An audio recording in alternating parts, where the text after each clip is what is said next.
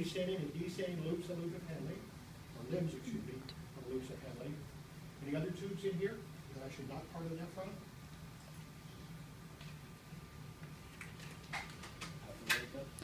Collecting duct again, collecting duct's conversion to what? Papillary duct, okay? So the tubes you'd expect to see that other than blood vessels would be parts of loops of Henle, descending ascending limbs of loop of Henle, collecting ducts and papillary ducts. Again, I'm not gonna ask you to distinguish, but I could ask what tubes did you see there? Okay. I ask what parts of nephron did you see here? What would your answer be in the medulla? What tubes that are part of nephron would you expect to see in the medulla? Only ascending and descending limbs of loop of No distal convoluted tubules, no possible convoluted tubules, okay? Only parts of loops of Henle, descending and ascending limbs.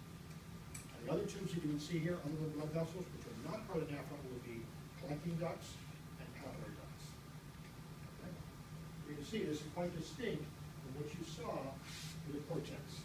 No renal corpuscles. That's a distinctive feature. Not renal corpuscles, you're in the cortex, no renal corpuscles, you're in the middle.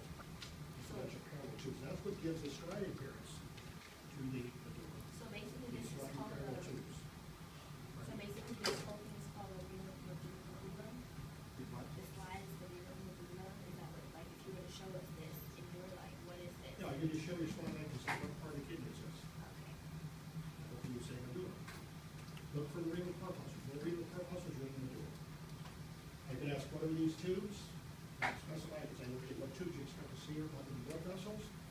That are part of the nephron, you'd say, descending, ascending loops of Henle. What other tubes that are not part of the nephron? Collecting ducts and papillary ducts. And you have to distinguish here, except in vowels, on the slides. Any questions on this? Okay. We'll put now in the literature, section for the literature. Now, this